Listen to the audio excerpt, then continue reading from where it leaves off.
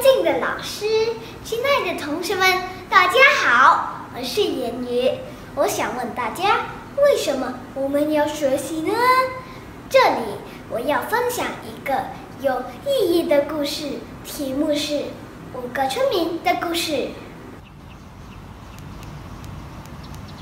有五个村民到山里去砍柴。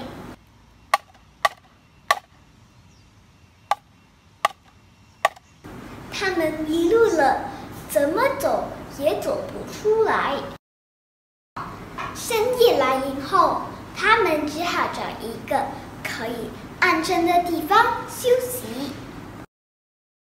突然，有个神仙来到他们面前，村民满怀希望的请求神仙给他们指出一条出山的路。结果，神仙却告诉他们：“你们要跟着有石头的地方走，要多捡路边的石头。”有的人根本听不进去，因为自己的家乡到处都是石头。有的人就听话，捡了几块石头，放进口袋里。找到走出深山的路时，发现石头变成了黄金。大家很后悔捡的少了。同学们，这个故事短，但意义很深。它让我想起学习的重要。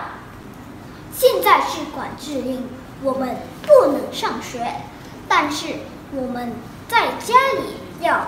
每天温习功课，我们现在所学习的，将来一定会有收获。好让我们可以未雨绸缪，就好像故事里的石头，最后变成了黄金。一天进步一点点，将来你一定会遇见最美好的自己。谢谢大家。